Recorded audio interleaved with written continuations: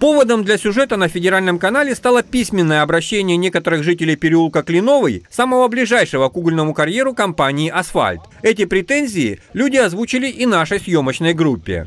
Многие здесь опасаются, наверное, с вами разговаривать, потому что ну, были случаи, когда кому-то и стекла били, вот, э, ну, какие-то, наверное, угрозы поступали, потому что ну, люди действительно опасаются. Я уже не говорю о том шуме и вот о, о, о, тех, вот, о той тех, технике тяжелой, которая здесь работает. Это и дым, и гарь, они жгут шины, там что-то обогревают. Мы вот сейчас лес вот не можем пользоваться, озеро было большое какое, ездили туда вечерами постоянно. Но вот сейчас все, дорогу перекрыли, мы не можем туда вот проехать. Это же нарушается экология. Перечень претензий объемный. В их числе и затопление подвалов из-за начавшейся разработки, и постоянный ночной шум тяжелой техники, регулярные буровые и даже взрывные работы. Правда, стоит отметить, что практически все из недовольных, как оказалось на проверку, к переулку Клиновому имеют достаточно опосредованное отношение и сами здесь не живут. Проживаю я не здесь, на этой улице, на соседней, на Садовой. Ну, здесь я регулярно бываю, я вижу проблему этих людей. Я живу в городе, но у меня здесь внуки, мы огород садим сюда, ну и детей же сходим же здесь постоянно, считай, все лето пропадаем. Я проживаю в городе, но здесь э, часто бываю с друзьями, у друзей в гостях, ну, здесь все-таки загородная э, территория. Злополучный угольный карьер расположен отнюдь не в центре Райчихинска, а на окраине города. И не в 100 метрах от жилья, как жаловались граждане, а существенно дальше. К тому же на ближайших к карьеру улицах нашлось и немало тех, кого соседство с карьером не беспокоит.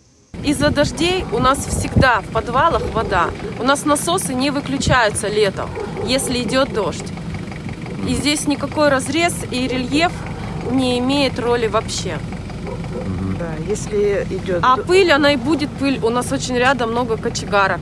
Извините, у нас город Райчихинск, город угольщиков в любом случае. Можете зайти посмотреть, что огород сухой, ни пыли, ни шума, ничего, как бы, ни ночью. Не Ночью, мешает- не ночью мешает, никаких короче. огоньков нету, там э, ночью Вообще. спите спокойно, Спокойно, да, никаких звуков всё. лишних не Претензий поступает. никаких не имею.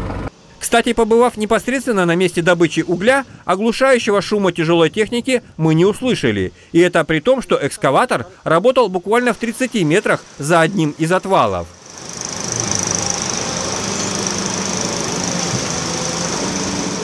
Насколько шум техники мешает жителям домов, расположенных, как это видно на кадрах, в нескольких сотнях метров, сказать сложно. Надо проводить замеры. Но представители угледобывающей компании уверили, никаких ночных работ здесь они не ведут. Не удалось нам обнаружить и следов бурения или взрывов, как и предназначенной для этого техники. Особое возмущение у угледобытчиков вызвали обвинения в том, что их деятельность привела к выходу из берегов озера.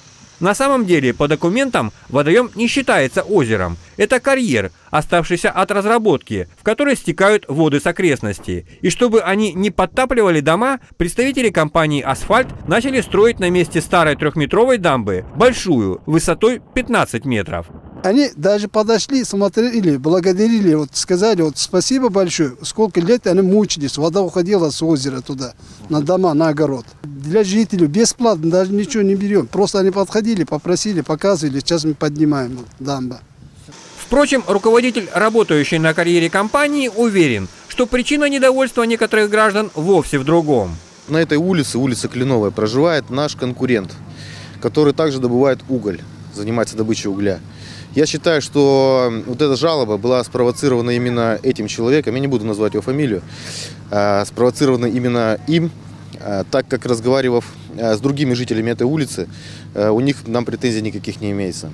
Кстати, в ноябре и декабре на разрезе уже дважды побывали сотрудники Амурского Росприроднадзора. Правда, пока результатов своей проверки они не оглашают.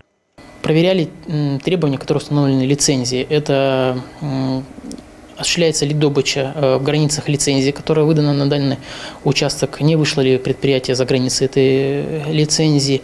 Ну и требования также закона о недрах, э, другие требования, которые установлены Теперь, после выхода телесюжета в эфире федерального канала, руководитель угледобывающей компании ждет новую волну проверок надзорных органов. В частности, об этом уже заявила природоохранная прокуратура. Будет дана оценка законности деятельности организации по добыче угля.